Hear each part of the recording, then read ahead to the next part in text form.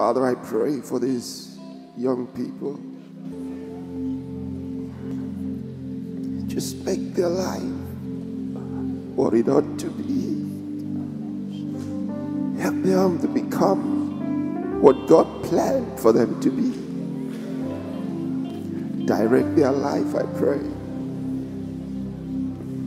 Direct their life. Fill them with wisdom. Them with wisdom.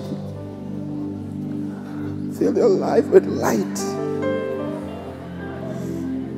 Each one of them.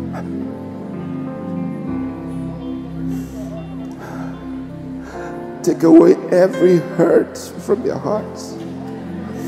Take away every disappointment, every pain, every frustration. Take it out of their lives, I pray. Take it out of their lives.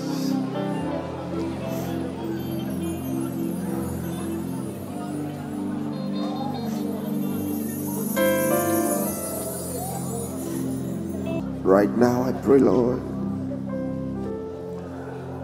let none of them miss God's plan. Let none of them miss the way.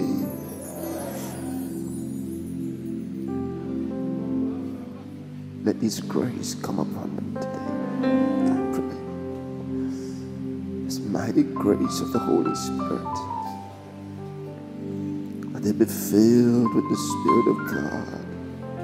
Filled with the Spirit of God. Filled with the Spirit of God. Spirit of God.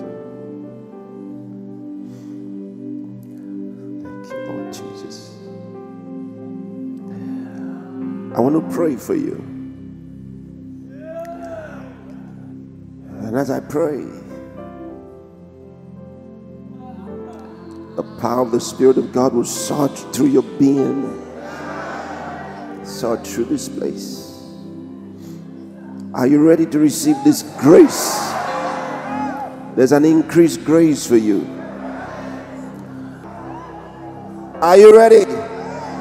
In the name of Jesus Christ, Lord, grant this grace to each one of them. In Jesus' name, take it.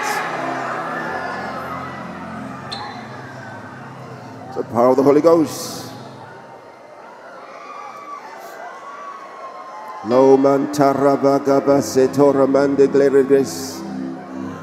Open your mouth and worship Him.